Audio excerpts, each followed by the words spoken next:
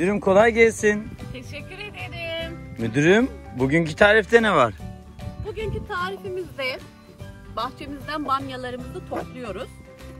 Bamyalarımızın şu iri boydakileriyle bamya turşusu yapıyoruz.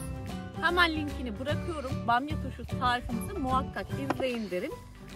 Normal büyüklükteki bamyalarımızla da çok güzel bir yemeğimiz olacak. Bamya kızartması yapacağız. Müdürüm gelsin mi tarif? Hadi gelsin.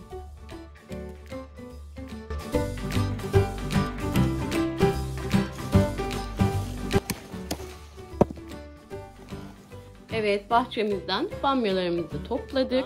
Burada bir kasenin içinde biraz suyumuz var. Öncesinde suyun içerisine biraz limon sıkıyoruz. Ayıkladığımız bamyalarımızı limonlu suyun içine koyacağız ki çok fazla kararmasın. Yemeğimiz için bamyalarımızın biraz iri boy olanlarını kullanıyoruz. Şu sap kısmının hemen bitiminden kesiyoruz ve çok fazla derine dalmadan şurasının kabuk kısmını dairesel bir şekilde temizliyoruz.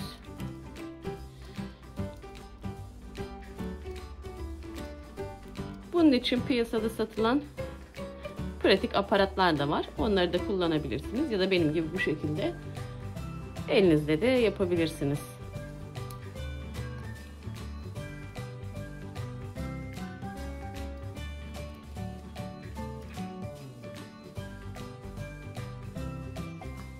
Bamyaların temizliğini yaparken neden şu sap kısmını direkt kesip atmıyoruz? Burayı kestiğimiz zaman içindeki çekirdekli kısım açıkta kalacaktır. Bu da bamyamızın yemek içerisinde çok çok fazla salyalanmasına sebep olacaktır. O yüzden o çekirdekli kısmı hiç girmeden bakın şu şekilde incecik tıpkı bir şöyle kubbe gibi baş kısmını temizliyoruz. Evet şimdi temizleyip suyunu süzdüğümüz bamyalarımızı şöyle temiz bir bez arasına alacağız. Ve bezle şöyle ovalayarak bamyaları iyice kurutacağız. Ve şimdi ocağa aldığımız bir tavaya biraz sıvı yağ alacağız. Çok fazla almıyorum. Sadece birkaç kaşık kadar alıyorum. Yağ kızmaya başlayınca bamyaların sadece tavanın dibini kaplayacak kadarını tavaya aktarıyorum.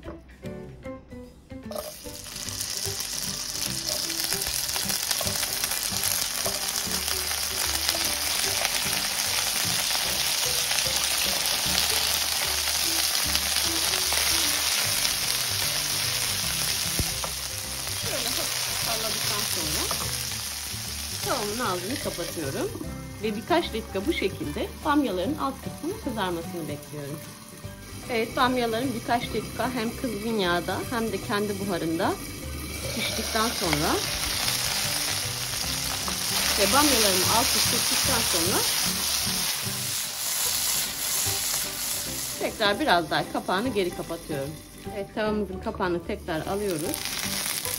Şöyle çevire çevire bamyalarımızı kızartmaya devam ediyoruz. Bamyalarımız yeterince kızardı. Bakın şöyle yakından da gösteriyorum. Hemen ayrı bir tabağa alıyorum.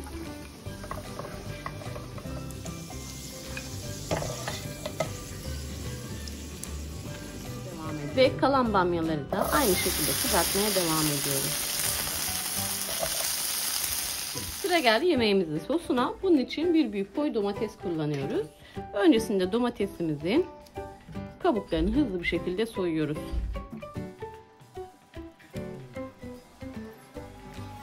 Ardından soyduğumuz domatesimizi ince ince küp küp doğruyoruz.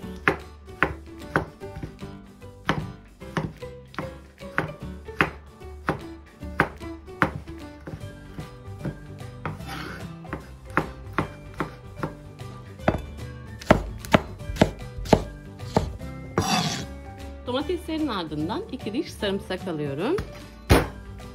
Sarımsaklarımı da ince ince doğruyorum. Yağım kızmaya başlayınca içerisine bir tatlı kaşığı kadar salça alıyorum. Öncesinde salçayı hafif kavuruyorum. Hemen arkasından ince ince doğradığım sarımsaklarımı ilave ediyorum. Sarımsakları da çok hafif çevirdikten sonra doğradığım domateslerimi ekliyorum. Her şeyi bir alt üst ettikten sonra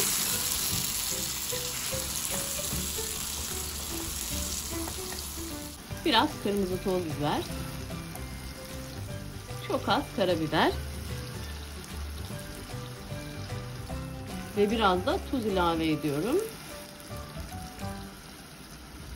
Tekrar güzelce karıştırıyorum. Ve bu şekilde birkaç dakika domatesler suyunu çekip de biraz kıvam alana kadar pişmeye bırakıyorum. Evet yemeğimizin bütün hazırlıklarını yaptık. Sıra geldi servis aşamasına. Öncesinde altına biraz süzme yoğurt yerleştireceğiz. Şöyle süzme yoğurdumuzu tabağımızın tabanına kaşık yardımıyla güzelce yaydırıyoruz. Ardından bamyalarımızı yoğurdumuzun üzerine yerleştiriyoruz.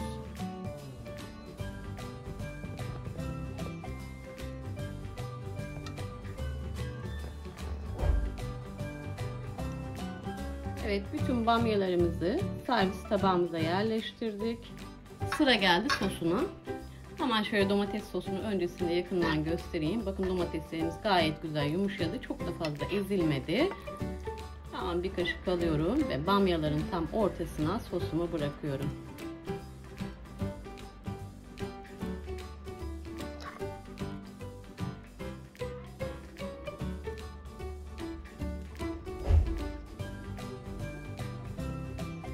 Evet artık yemeğimiz servis için hazır. Evet, şimdi sıra geldi işin en güzel kısmına yemeğimizin tadına bakmaya.